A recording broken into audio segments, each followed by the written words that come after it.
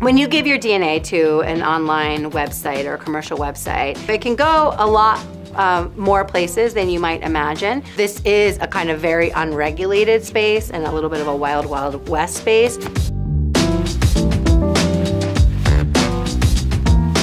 There's been a number of government or public-private partner efforts to collect genomic information, and they are all dwarf in comparison to what the consumer genetics companies have been able to collect through people voluntarily. You know, they have databases of millions of people's genetic information. You know, I think if you're in the precision medicine or research world and you think that the genome is going to help answer a lot of really pressing questions that are pertinent for human health or well-being, having that information can be really helpful. I, I, think there's a cost, there could be a price. These are for-profit companies, and ultimately their responsibility is to maximize their profits, not to protect your privacy. Even shared in an anonymous capacity, research has shown that sharing a limited amount of genetic data allows you to extrapolate the entire rest of the genome fairly reliably.